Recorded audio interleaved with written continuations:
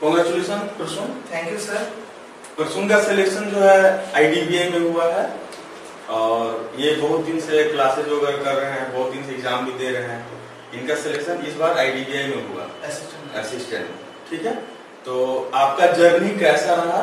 आप स्टार्ट कीजिए। सर पहली बात तो एक चीज़ बोलूँगा कि आप कोई भी कॉम्पिटिटिव एग्ज़ाम कोई भी कोई जन भी प्रिपेयर कर रहे हो तो उसके लिए पेशेंट बहुत होना पड़ेगा। क्योंकि पहले में ही अगर दो तीन एग्ज़ाम मतलब मतलब मान लीजिए कोई कोई भी सब्जेक्ट लेकर पढ़ा हो चाहे बीकॉम हो इनकॉम हो या फिर बीटेक हो बीएससी हो, इससे कोई फ़र्क नहीं पड़ता, लेकिन अल्टीमेट सिलेक्शन आपको ही मिलना चाहिए। और एक बात हमेशा याद रखना चाहिए कि सर जो पढ़ा रहे हैं, उस चीज़ को एग्ज़ाम हॉल में जाकर उस 45 मिनट या जो भी सेक्शन टाइम हो, उसमें जाकर लोग इम्प्लीमेंट करें, तभी सक्सेस मिल सकता है। और और रही बात आपको अलग अलग सेक्शन में जैसे टाइम देना पड़ेगा जैसे रीजनिंग में 35 मिनट या 50 मिनट्स कुछ रहता है वैसा टाइम अभी मेरे को याद नहीं आ रहा है। तो उस टाइम के दौरान आपको रीजनिंग में उसी क्वेश्चंस को करना होगा जो आपके लिए बेनिफिशियल होगा। ठीक है ना? समझ उस समय वही करना है जो आपके लिए बेनिफिशियल हाँ। मतलब आप जो आपको नंबर देगा। हाँ। ऐसा नहीं रीजनिंग में तो बहुत सारा क्वेश्चन रहेगा। अटेंड करते जा रहे हैं मान लीजिए मान लीजिए कि दस ठो पजल्स दिया हुआ है दस या आठ पजल दिया हुआ है। उसमें से आपको कोई भी तीन या चार पजल करना होगा जि, जो जिसमें आप लोग कंफर्टेबल हैं। ठीक है ना? कंफर्टेबलनेस बहुत ज़रूरी होता है क्योंकि एक एक नंबर वहाँ पे मैटर करता है फाइनल सिलेक्शन के लिए। और और एक और एक स्कोरिंग पार्ट होता है लॉजिकल रीजनिंग किसी का अगर इंग्लिश अच्छा हो तो वो लॉजिकल रीजनिंग में कमांड कर सकता है। हालाँकि इंग्लिश में बहुत इंप्रूवमेंट चाहिए लेकिन ठीक है logical reasoning is a scoring part and obviously जब पजल्स आप लोग करते होंगे, तब कोई भी पजल्स हो, पहली बात तो पॉजिटिव इंफॉर्मेशन को लेफ़्ट हैंड साइड में लिखना है और नेगेटिव इन्फॉर्मेशन को राइट हैंड साइड में लिखना है। फिर आपको जो भी जियोमेट्रिक पैटर्न बेस्ड पजल दिया हुआ है क्वेश्चन में, उसी को आपको अटेम्प्ट करना है। अटेम्प्ट करने के लिए आपको इंटरलिंक करना पड़ेगा गिवन इन्फॉर्मेशन को। जब आपको अगर पजल सीखना है तो इंटरलिंकिंग बिटवीन द इंफॉर्मेशन बहुत ज़रूरी होता है। और वो सीक्वेंस याद भी रखना पड़ेगा कि किस सीक्वेंस में मैंने इंटरलिंक किया था। और ज़्यादा करने के लिए सर तो है ही इधर में। और जीए के लिए जो बोलूँगा जी मैथ तो मैथ तो सर पढ़ रहे हैं मैथ्स में नया कुछ बोलने की ज़रूरत नहीं है। जीए में ये भी आप बताइए कैसे स्टार्ट आपका मतलब स्टार्ट कैसे रहा? मैथ्स में आप पहले कैसे थे? कैसे इम्प्रूवमेंट किए? मैथ्स में इन सब्जेक्ट का बताइए मैथ्स में तो सर बोलेंगे कि देखिए हम तो एवरेज स्टूडेंट थे। ठीक है ना? मैथ्स में ठीक ठाक मेरा नंबर आता था, वैसा नहीं। मतलब आता था नंबर लेकिन बात यह है कि कॉम्पिटिटिव एग्ज़ाम या नौकरी का फ़ील्ड में वही चीज़ वो लोग माँगता है, जिस मतलब जो टाइम के अंदर जो लोग कर सकता है। मतलब उधर में आपको डिसीज़न मेकिंग करना पड़ेगा कि उस टाइम के अंदर क्या उस टाइम के अंदर कितना एक्यूरेसी के साथ आप कर रहे हैं। तो इस चीज़ को मद्देनजर में रखते हुए एक चीज़ मैं बोलना चाहूँगा कि स्कूल में या कॉलेज में यूनिवर्सिटी में जहाँ पर भी आप लोग मैथ्स किया हो उससे कोई मैटर नहीं करता, लेकिन सर जो पढ़ा रहे हैं, इसको याद रखते हैं कि ये गुरुवाणी है। वैसे ही मतलब सर हम लोग के गुरुदेव है तो वैसे ही चीज़, चीज़ों को इम्प्लीमेंट करना है अल्टीमेट एग्ज़ाम तक। तो उसी चीज़ को आप घर में टाइम देकर करिए सर जो करा रहे हैं, और इंडिविजुअल चैप्टर में जैसे वर्ड प्रॉब्लम आता रहता है उस वर्ड प्रॉब्लम को करने के लिए individual chapter wise concept build करना बहुत ज़रूरी होता है। जो जिसमें सर ट्रिमेंडसली हेल्प करते हैं। उसके बाद ही तो अभी तो हाल ही में तो डीआई का पैटर्न भी चेंज हो गया आईबीपीएस के दौरान। या फिर आईबीपीएस में जो कैट का पैटर्न दे रहा है। कैट का 1990s का पैटर्न अभी आईबीपीएस में फॉलो कर रहा है हर साल। क्योंकि वो कैट के लिए पुराना पैटर्न है आईबीपीएस के लिए नया पैटर्न है। तो उसमें बेसिकली अरिथमेटिक बेस्ड डीआई दिया जा रहा है। तो आपको अरिथमेटिक बेस्ड डीआई करने के लिए आपको कॉन्सेप्चुअल क्वेश्चन कॉन्सेप्ट उस चैप्टर का होना ज़रूरी होता है जैसे speed time and distance probability ना जो होगा तो, तो भी चलेगा लेकिन time and work profit and loss average तो ये सब पाई कंसिस्टेंट ये सब चैप्टर्स आपको बहुत अच्छे से सीखना होगा सर से। और सिर्फ़ सीखने से ही नहीं होगा उस चीज़ को आप घर में मॉक दीजिए। दो मॉक में बोलूँगा तीन मॉक बोलूँगा ठीक है ना? उसमें से कोई भी दो चूज़ कर लीजिएगा। पहला तो है ऑलिव बोर्ड लोग बोलेंगे कई लोग बोलेंगे बाप रे बाप इतना दाम इतना दाम क्या? लेकिन उसका दाम तो से कुछ नहीं वाला- रिपोर्ट कर दीजिए और सर एक मॉक प्रोवाइड करे वो टॉप रैंक का सोलह मॉक दीजिए। ये बताइए और- आप जैसे बहुत सारा प्रीलिम्स एग्ज़ाम दिए बहुत सारा मेंस का दिए आपका जब रिज़ल्ट नहीं होता था तो उस समय क्या सोचते थे आप? सर मैं सोचता था कि देखिए ये तो मैं सोचता था कि it's a part of my journey मेरा कब होगा, ये मेरे को नहीं पता, लेकिन मेरे को करना है, ये मेरे को पता था। सबको ही पता होना चाहिए कि सबको individually you don't have to wait for that day wait for that goal goal किसी किसी के लिए ह्यूमन साइकोलॉजी के हिसाब से अलग अलग हो सकता है। कोई बोल रहा है कि कोई एसएससी में इंटरेस्टेड है, कोई बैंक पीओ में इंटरेस्टेड है तो हर लेवल का अपना अपना लेकिन आप जिस जिसको आप प्रायोरिटी में रखते हो तो उसी गोल के लिए आप फॉरवर्ड जैसे मैं प्रायोरिटी में बैंक ही रख रखा था पहले। जो मेरी प्र- दीदी भी आई हुई है अभी। तो दीदी भी एसबीआई में ब्रांच मैनेजर है और मेरे पापा भी ब्रांच मैनेजर थे एसबीआई में। मतलब ऑडिटर होकर रिटायर किए हैं। तो मेरे को बैंकिंग फ़ील्ड मेरे को अच्छा लगता था, इसीलिए मैं ज़्यादा उस तरफ़ इंटरेस्टेड था। लेकिन ये बात नहीं है कि मैं एसएससी एग्ज़ाम बाकी एग्ज़ाम नहीं देता था। सब एग्ज़ाम मेरा देता था, लेकिन मेरा जो है एग्ज़ाम देना आपको हैबिट मतलब हैबिट में ला देना है। कि जैसे हम लोग रोज सोते हैं रोज खाना खाते हैं दोपहर को सुबह को उठते हैं पानी पीते हैं वैसे एग्जाम देना आपको हैबिट हो जाना चाहिए कि हर मंथ में आपको शनिवार और रविवार आज तो आज ये एग्जाम আছে প্রিলিমস আছে গীত বিতানে যেতে হবে বা टीसीएस आसनसोल যেতে হবে तो ये चीज आपको बस याद रखना होगा कि हर मंथ का हर शनिवार और रविवार आपके लिए मतलब चार शनिवार और रविवार होता है तो हर दिन आपका वैसे एग्जाम है वैसे उस बेसिस पे आप लोग प्रिपेयर कीजिए। बस और तो कुछ नया नहीं है बाकी तो सारे लोग हैं ही। आप लोग और कुछ पूछना तो पूछ सकते हैं। कोई भी अगर हाँ, क्वेश्चन हो तो पूछ सकते हैं। मतलब किसी में भी इनका भी इनका भी ऐसा नहीं है। इनका फ़र्स्ट टाइम में ही सिलेक्शन हो गया। एग्ज़ाम दिए सिलेक्शन हो गए और इधर आगे हम लोग मिठाई खिला रहे ऐसा नहीं है। इनका भी बहुत बार मतलब रिज़ल्ट नहीं हुआ है।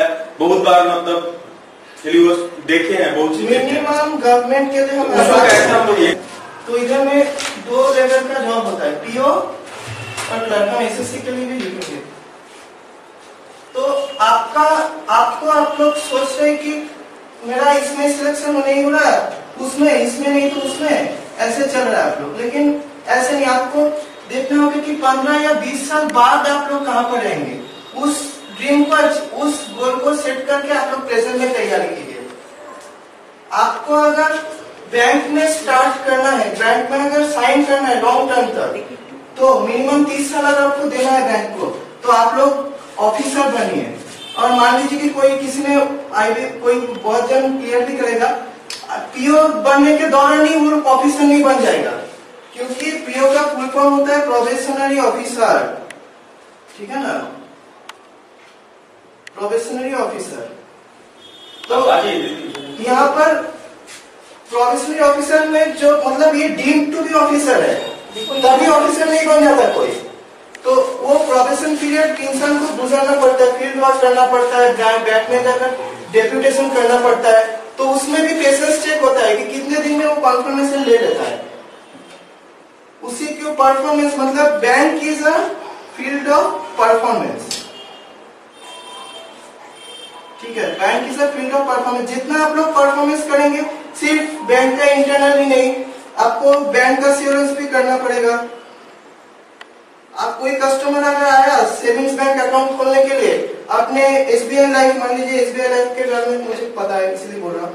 एसबीआई लाइफ का कुछ बैंक एश्योरेंस दे दिए मतलब इंश्योरेंस प्रोडक्ट दे दिए म्यूचुअल फंड दे दिए आपको घूमना नहीं पड़ेगा। सुन ये सब बहुत मतलब ये करते हैं। वहाँ पे भी एक दो क्लास ये क्लास इंक्रीज करवा देते हैं आप पहले ये- मतलब वहाँ पे जब हम लोग बैठा ना तो हम लोग इसी तरह जियो डिस्कशन रखे हुए थे। हैं। बैंक इंश्योरेंस में बहुत कुछ आता है जैसे इंश्योरेंस तो आता ही है म्यूचुअल फंड आता है बहुत कुछ आता है। उसको will be a part of both clerk and PO clerk clerk में क्या है क्लार्क आप बनेंगे तीन साल के बाद आप एलिजिबल होंगे ऑफिसर के लिए। ऑफिसर नहीं बन जाएँगे। तीन साल आपको गुजरना पड़ेगा। First year second year third year मान लीजिए किसी का एसबीआई क्लर्क में एक बार हो गया अच्छा ही है। हो गया जिसका तो उसको ये तीन साल देना पड़ेगा। फिर वो आदमी बनेगा कि कोई भी जन वो फोर्थ ईयर से एलिजिबल होगा ऑफिसर के लिए। उसके लिए फिर और इंटरनल एग्ज़ाम्स देना पड़ेगा और परफॉर्म भी करना पड़ेगा। हम लोग बात करते हैं। हाँ दीदी देखिए। आ, ये परसों का आईडीबीए में हुआ। ठीक है? तो आपको कैसा लग रहा है? दीदी पूर्व मतलब एस में है। आप लोग दीदी से भी कुछ पूछ सकते हैं। हाँ तो मेरा सिलेक्शन हुआ था 2009 में। तो मेरा ग्रेजुएशन था आपका 2004 में ग्रेजुएशन हुआ था। 2006 में मेरा पहला जॉब लगा था एल आई सी एडीओ फिर मेरा 2007 में जॉब लगा था कॉर्पोरेशन बैंक पीओ लेकिन लड़की हूँ घर वाले बोले नहीं केरला पोस्टिंग नहीं भेजना है। इसीलिए फिर वेट किए। एल में हम काम कर रहे थे, लेकिन करते करते ही हम एस का क्लरिकल दिए और क्लियर हो गया। मेरा घर है दुर्गापुर दुर्गापुर के सामने पोस्टिंग मिल गया। पापा भी थे एस बी में, ये नहीं है। तो सब ज्वाइन कर दिए उधर। तो उसके बाद तो जब देखो, सबको जब कोई इंस्टीट्यूट में तुम आती हो, तुम आती हो या आते हो तो जब फ़र्स्ट स्टेप रखते हो तो ये तुम लोगों को एकदम दिमाग में ठान लेना होगा कि मुझे नौकरी लेके ही इधर से जाना है। हम खास करके ये लड़की लोगों के लिए बोलेंगे क्योंकि लड़के लोग हैं ठीक है उन लोगों को तो जॉब करना ही है। जॉब नहीं होगा तो सारा रास्ता बंद लेकिन हम लोगों में से ये नहीं है। इसीलिए लड़की लोगों को खास करके बोलेंगे कि तुम लोग अपने आप मन में ड्रीम बिल्डअप कर लो कि हम यहाँ इंस्टीट्यूट में आए हैं तो मुझे नौकरी करना ही है। और ऐसे वैसे नौकरी नहीं मुझे सरकारी नौकरी ही लेना है। सबको ही मिलता है नौकरी मिलना इतना मुश्किल काम नहीं है। देखो मेरा भाई है हम भाई को भी बोलते थे ये आज इसका जो सिलेक्शन हो रहा है ये लगभग तीन या चार साल से ये एग्ज़ाम देता रहता है। मैंने स्टार्ट किया था दीदी से स्टार्ट किया था मतलब तब मैं स्कूल में था तभी दीदी का बुक्स लेकर हम करते थे। तभी तभी से उसको वो तो बहुत डिप्रेस भी हो जाता था। ये हाल ही में जब एसबीआई का रिज़ल्ट निकला, शायद कोई स्टूडेंट हुआ था, वो घर में जाके बोल रहा था कि हम अगर दूसरे स्टेट से लेते तो मेरा भी निकल जाता। अभी मेरा नहीं निकला, दीदी देखो ना, मुझे बहुत खराब लग रहा है। मेरे ही सामने कोई दूसरे को फेलिसिटेट कर रहा है। मुझे लग रहा है कि हम अगर इधर होते तो कितना अच्छा लगता तो अभी तो हम बहुत खुश है हमसे भी घर में सभी लेकिन आपको भी मिलेगा सिर्फ़ बात यही है कि आप लोगों को छोड़ना नहीं है बहुत दिन बहुत चैलेंजेस है और हम तो अभी जॉब कर रहे हैं Minimum छह जॉब से सात करने के साल लिए की ये जर्नी जो है। हाँ हम लोगों को कॉम्पिटिटिव एग्जामिनेशन एक चीज़ सिखा देता है। ये जो हम पढ़ाई करते हैं ना इतना स्ट्रगल करके जो पढ़ाई करते हैं जॉब मिलने के बाद भी लेकिन हम लोगों का स्ट्रगल खत्म नहीं होता है। Yes, जॉब मिलने के बाद भी अभी तक हम लोगों को पढ़ना पड़ता है। अभी तक नया नया रोज नया नया कस्टमर को कैसे सर्विस देंगे इसलिए हम लोगों को क्योंकि मानिए आप बैंक में आए सोचिए हम बैंकर हैं आप कस्टमर है आप कस्टमर होकर बैंक के बैंकर के पास आए। कोई प्रोडक्ट के बारे में मुझसे पूछे मैम मुझे सेविंग बैंक अकाउंट ओपन करना है। अगर मुझे नहीं जानकारी है तो आप क्या सोचिएगा ये बैंक में बैठा है क्या है? भाई एक सेविंग बैंक अकाउंट ओपन के बारे में नहीं जानता है। इसीलिए अपने अंदर में ना ये नॉलेज के लिए जो हंगर है इसको बिल्डअप कीजिए। यही आपको बहुत दूर तक और आपके आपका पास जो मतलब पेपर के लिए ये तो बहुत कुछ बोल ही दिया। एक चीज़ हम बोल देंगे। आप कोई चीज़ जल्दी तभी कर सकिएगा जब उसमें आपका कॉन्फिडेंस हंड्रेड परसेंट हो। कॉन्फिडेंस और कॉन्सेप्शन ये दो बात बहुत ज़रूरी है।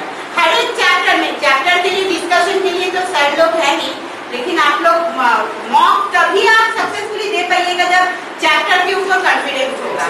हम तो घर में इसके साथ ये जब मैथ्स बनाता था पूछिए ये जीआई बनाता था, हम उसके साथ बैठते थे।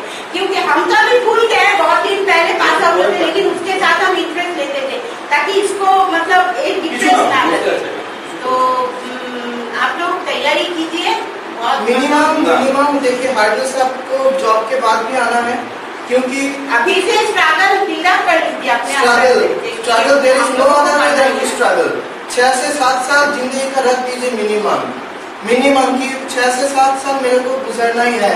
पहले और ऐसा कोई बात नहीं है सबको मिल रहा है हाँ। आपको लोगों को भी मिलेगा। आपके टाइम के लिए आप इंतज़ार कीजिए और पढ़ाई कीजिए उसके अंदर। सिर्फ़ राइट वे में आपको हाँ। पढ़ना है सब कुछ नहीं पढ़ना है। ये नहीं कि हम सब कुछ पढ़ लिए वो नहीं। आपको एग्ज़ाम ओरिएंटेड पढ़ना है। एग्ज़ाम में जो जो चीज़ आएगा वो वो चीज़ जैसे जीए बताते हैं जैसे जीए बताते हैं ठीक है ना वैसे ही वैसे ही पढ़िए।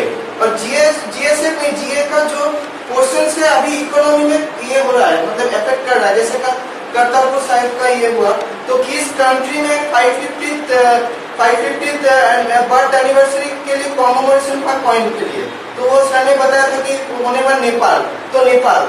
तो नेपाल का ने, नेपाल का आरबीआई का नाम क्या है? मतलब नेपाल का सेंट्रल बैंक नेपाल राष्ट्र बैंक वैसे ही सर सर जो बोल रहे हैं उसी उसी को फॉलो कीजिए। और उसको गुरु मंत्र बाँध कर ठान लेकर बस करते चलिए। आपको एक दिन एक दिन मंजिल मिल ही जाएगा।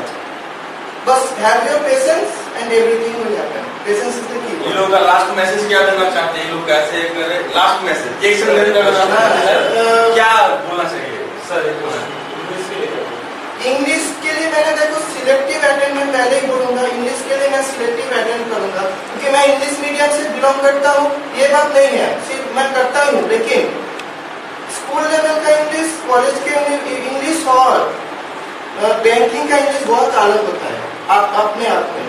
तो उसमें हम लोगों को, अगर मान लीजिए कि मेंस के पेपर में दो आरसी दिया हुआ है तो हमको कोई भी एक एक आरसी हमको ठीक तरह से बनाना पड़ेगा।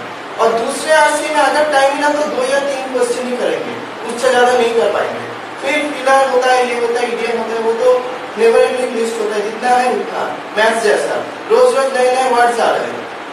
जैसे कमेमोरेट कमेमोरेट मतलब बहुत सारा वर्ड होता है ये होता है, একই वो होता है। রকম ভাবে তুমি যখন অন্য পেপারের মতো ইংলিশ আমি নিজে বাংলা মিডিয়াম থেকে পাস করেছি একদম তুমি ইংলিশেও তুমি যে যা সাবজেক্টটাকে পড়বে সেটার উপর তোমাকে কনফিডেন্স বিল্ড আপ করতে হবে আরে আমরা বাংলা মিডিয়ামের স্টুডেন্টরা তো ভালো ইংলিশ লিখি আমাদের তো গ্রামারের উপরে খুব ভালো দখল থাকে কিন্তু আমরা চাকরির পরীক্ষায় গিয়ে পড়তে পারি না কেন পারি না তার কারণ ওই সাবজেক্টের উপরে আমাদেরকে ওই যে বললাম যেভাবে তোমাকে সবকিছু করতে হবে না তোমাকে এক্সাম ওরিয়েন্টেড পড়াশোনাটা করতে হবে আমি প্রচুর কিছু জানি কিন্তু আমি পরীক্ষায় গিয়ে অ্যাপ্লাই করতে পারছি না তখন কোয়েশ্চেন করতে হবে যে কেন তুমি নিজেকেই নিজেকে কোয়েশ্চেন করো যে আমার কেন হচ্ছে না ওকে আমি তাই বলছি নিজের কাছেই answer নিজেকে আছে। তুমি নিজেই খুঁজে পাবে যে তোমার এখানে উইকনেস আর এখানে তোমার স্ট্রং দেখ, আমি কেন পারছি না আমি কেন পারছি না এর মধ্যে পারছিটা লুকিয়ে আছে শুধু নাটা তোকে সরিয়ে দিতে হবে নিজের সেলফ অ্যানালিসিস তো ওইটাই করতে হবে আলটিমেটলি ওটা সবাইকে ইঞ্জিনিয়ার করতে হবে কি সব সাবজেক্টগুলো নিয়ে ইকুয়াল ধ্যান দিতে হবে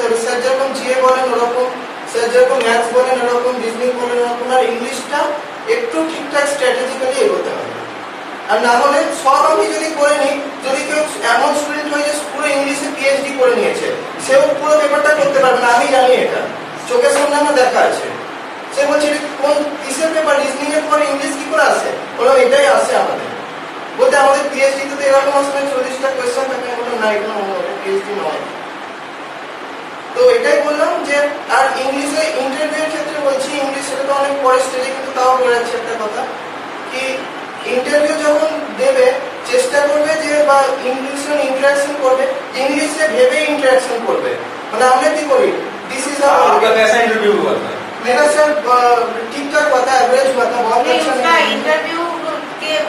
बाद जब वो घर में आके डिस्कस कर रहा था मुझे लग गया था कि इसका तो सिलेक्शन होना ही है। क्योंकि इसका एक हैबिट है। मेरे में जो नहीं है? इसका एक हैबिट है कि वो कोई भी चीज़ पढ़ता है ना तो अपने आप में उसको बहुत अच्छा एनालिसिस कर लेता है। एनालिसिस करने से आप- आपको एक टॉपिक उसको दीजिए आप उसको दस मिनट दीजिए वो टॉपिक के ऊपर इतना अच्छा समझ करके लिख देगा ना ये बात है मतलब इसका इंटरव्यू सच में अच्छा ही गया था मेरे जैसे मेरे इंटरव्यू के लिए बोलूँगा कि it was a interview of act- actually 35 minutes and there were uh, I was in panel I was placed in panel one and uh, then there were three members two of them was sir and one was madam so the mad- uh, one of the uh, sir was uh, were actually the executive director of IDBI Bank uh, actually you people uh, we people have also read his name. We don't know actually. I don't uh, can't remember at this moment but still he was the executive director rather so the thing was that first of all you have to analyze uh, the home place of yours. I mean how famous is your home place for India as, as, well as the world? Then you have to uh, build up your uh, studies. I mean build up your habit of analyzing. I mean uh, uh, which you have studied in the graduation or post graduation there you had uh, you had either commerce or BTech or IT whatever be the case there um, you have to prepare the subject and questions will be asked from your subject only okay then all in general uh, the final question will be asked about the economy because they, they uh, presently it is a case of economic slowdown. So is it a bullish or a bearish phase? You have to analyze that. You have to answer that according to the market. And remember one thing, that never criticize any government. जैसे कि RRB में अगर आपका किसी का selection हुआ RRB PO या clerk में पीओ में तो इंटरव्यू होता ही है आप मान लीजिए तेलंगाना में गए तेलंगाना में आपको अगर पूछ लिया उधर में, सामने वाला बंदा, कि तेरा सब something about Mamata Banerjee then you have to remain neutral don't have to show frustration और गुडनेस अगेंस्ट और for the government you should not be looking like you are a pro Modi fan or a pro Mamta fan or a pro because here also marks is being given each and every second. So you have to each of our, each of you have to do that thing, prepare that thing from the very beginning. ताकि मेरा selection interview तक रहे मेरा M interview तक रहे SSC में तो interview post non interview post दोनों ही होते हैं। यही बात है। मैं यही बोलना चाहूँगा फाइनली कि लास्ट कंक्लूड कर दीजिए। हाँ। मैसेज हाँ। क्या मैसेज मैसेज यही है कि reach for the moon and you will definitely reach the stars यही है। तो आप आप सब लोग ही विनर है। ये बात नहीं है। ठीक है अगेन आपके मैंने सिर्फ़ किया है। आप आपके वजह से नहीं आपके